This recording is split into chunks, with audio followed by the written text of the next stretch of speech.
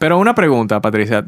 Los juguetes sexuales, porque nosotros estamos hablando ahora de una cosa muy moderna, de una pompa, de una vaina eléctrica. Eso es de ahora. Eso nunca Ah. había existido. Eso siempre ha sido así, desde los tiempos de. Taíno. A nivel así como que formal, hay estudios de que los juguetes sexuales se utilizaban desde el siglo XIX aproximadamente, que fue como que el primer sex shop oficial así.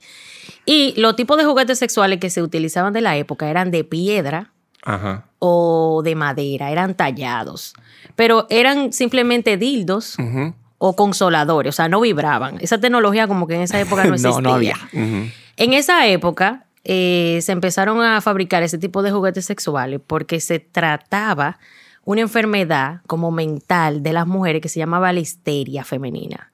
Eso lo descubrió eh, Sigmund Freud y dentro de sus estudios eh, él determinó que las mujeres prácticamente se volvían como que locas Sí. cuando no tenían orgasmos.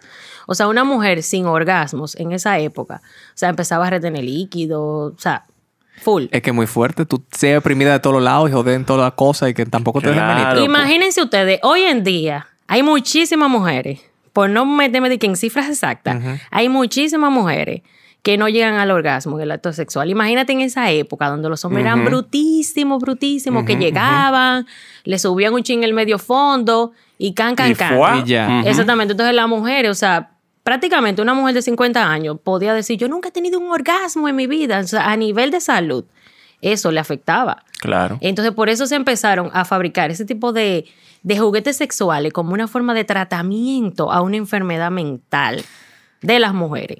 Y estamos hablando de los tiempos modernos, porque antes habían. Tú, tú encuentras tus tallados en piedra y tus vainas también viejísimas. Bueno, yo fui al Museo del Sexo en, New York y yo pude ver algunos modelos de que originales, uno nunca sabe, de que edición Mm. original, de que de los primeros juguetes sexuales que habían, que eran como rocas así como que naturalmente como que, Sí. o sea, alguien estaba en el bosque y encontró una roca así preciosa, largona, y Largona. decía, ¡qué chulo! ¡Qué lindo! Me lo llevaré de regalo.